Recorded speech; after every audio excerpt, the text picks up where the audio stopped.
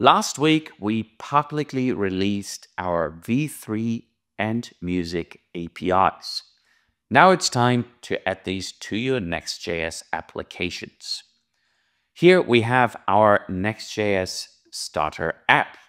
So now in the text-to-speech section, we added in the 11v3 model. If you remember, the model is the most expressive human-like model available on the market. So you can use these tags to put some sound effects or some uh, emotional directions into the text to speech. So we can say laughing, hey, this is amazing. Okay, let's fire this off. hey, this is amazing. There you go. That is a very excited James. Now, the other exciting thing with V3 is we introduced a new endpoint called text to dialogue. So where you previously, if you had multiple speakers, you know, like a podcast you were generating, um, you would have to stitch together the different generations with the different voices. You can now have a JSON array of the different uh, speakers and what they are saying. So you can say like, hey, Jane, isn't this new model awesome? And then Jane can say, yes, James, it is wild. Cool. And then we can generate the dialogue. And so now it will just take our content uh, and put that together into, you know, say a podcast, for example. Hey, Jane, isn't this new model awesome? yes, James, it is wild.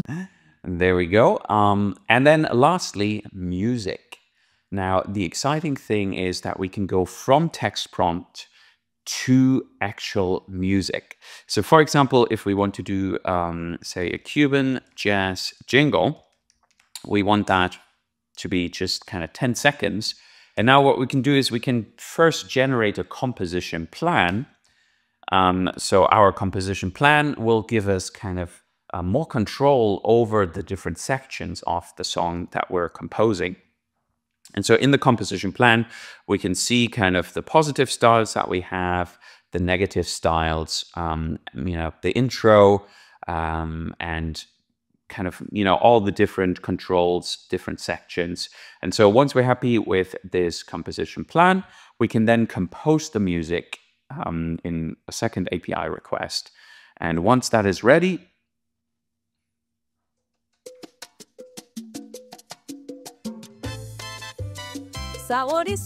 cubano feeling. There we go. We got our music generated. Um, again, this model is an industry first uh, as it's only trained on fully licensed data, which makes you know it usable in a lot of different scenarios. So here you are. Check out this open source Next.js starter template for your uh, Next.js applications and do let us know what you're building with these new APIs. See you soon.